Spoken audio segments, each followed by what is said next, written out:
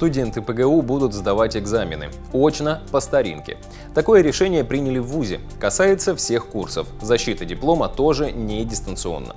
Единственное, что, конечно, предусмотрено приказом, что э, в случаях исключения э, те студенты, которые э, находятся в, э, вне территории республики, при предоставлении э, подтверждающих документов, ну кто-то, может быть, выехал, кто-то находится на лечении, кто-то находится на работе, нет возможности э, прибыть, Э, в исключительных случаях будет представлена возможность э, сдать экзамены в дистанционной форме.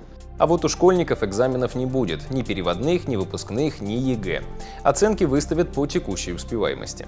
Техникумах, колледжах государственная аттестация проводится в форме защиты выпускной квалификационной работы э, в дистанционном формате. В некоторых колледжах, техникумах предусмотрены государственные экзамены, оценки по которым будут выставлены по итогам промежуточной аттестации по соответствующим учебным дисциплинам. По вопросу практики э, в СПО, то есть в техникумах и колледжах, э, формат проведения практики решает сама организация профессионального образования, и практика может быть частично проведена в дистанционном формате, вот, а частично уже на предприятиях.